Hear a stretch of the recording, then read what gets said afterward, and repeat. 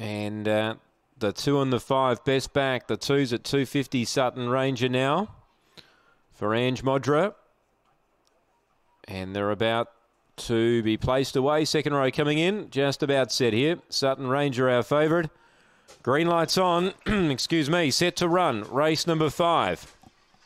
They're ready and racing. Sutton Ranger third away. Speed out deep from Finnis Spice and booting hard surprise packet. And now Sutton Ranger saw the lure and dash through and took the lead.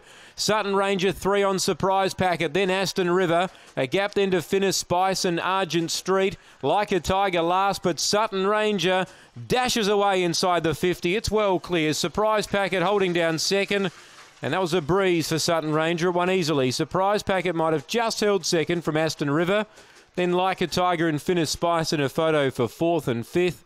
And Argent Street last in 22.90 for Sutton Ranger, number two. Well, he was third away, but quickly uh, utilised an inside box, drove hard, took the lead, and raced away. Got a big lead, won by seven and three quarters in the end by a neck. One surprise packet had no answers for Sutton Ranger there. And number five, third, Aston River. Two, one, five, and seven. 215 and 7, 22.98. The gallop here on the fifth at Gawler.